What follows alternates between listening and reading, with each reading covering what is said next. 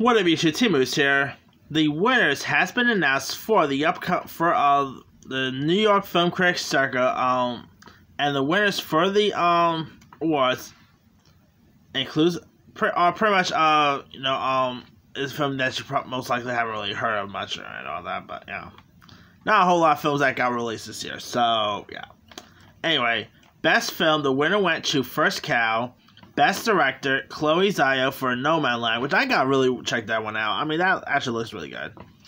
Best Screenplay, Eliza Hittman for Never Rarely, Sometimes Always, which, by the way, that movie is actually my top 10 favorite of the year. That movie is. I know, um, obviously, there's not really a whole lot of great stuff that got released this year because, you know, the pandemic and all. But I'm not gonna lie, Never Rarely, Sometimes Always is terrific. I just saw it literally about the dirt times on TV. It's a terrific film. If you guys haven't seen that, then forget we go. Anyway, Best Actress went to Sidney Flanigan for Never Rarely, Sometimes Always, which that girl's gonna be a star, by the way.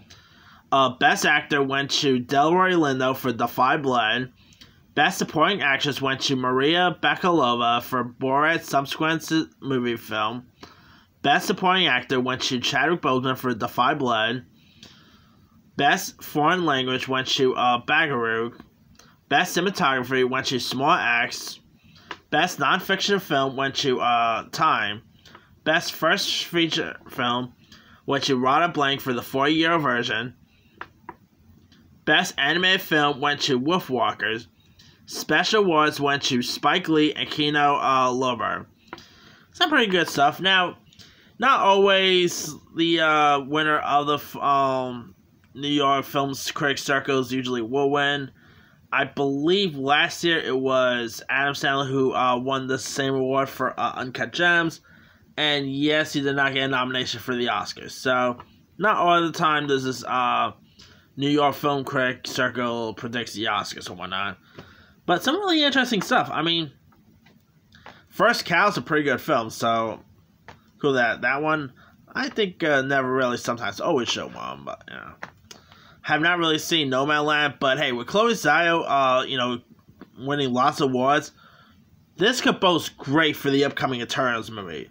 So, I mean, just think of it. If uh, Chloe Zhao, which, by the way, if she wins the Oscar for Best Director, she's actually going to be the first Asian female to win a Best Director at the Oscars. So, there's a little, uh, you know, she's if she wins the Oscar for uh, Best Director, she's pretty much uh, going to make history.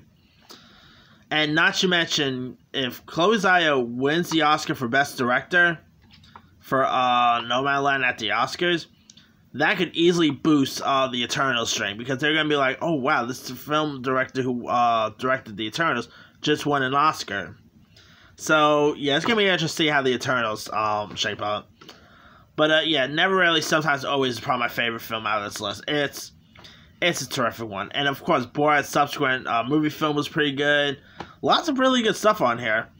Anyway, uh, it's nice that Chadwick Boseman and is receiving a posthumous uh, award. Well deserving there.